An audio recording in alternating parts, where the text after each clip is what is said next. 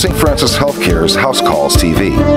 Sun damage is the main cause of visible wrinkles, spots, and blood vessels, but skin doesn't always reveal that deeper damage. Dr. Todd Schlesinger talks about a special camera system that's helping dermatologists turn back the clock. We're working with a new camera system called the Profect.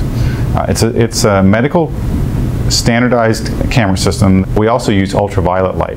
The ultraviolet light allows the camera to see the next level down. So there it will reveal dark spots, how much pigmentation is in the skin, and that's a true indicator of how much sun damage the patient has. A photofacial series can help treat skin damage that's below the surface. One, increase size of blood vessels, so it shrinks them and gives you smoother texture to the skin. Number two, the pigment in the skin, the color spots. Those are transformed by the device uh, into microscopic particles that the body can simply take away.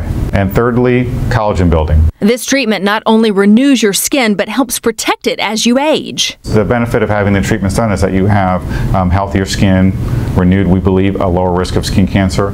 For more information, call 402 CARE. For House Calls TV, I'm Merritt Buck. Roper St. Francis Healthcare's House Calls TV.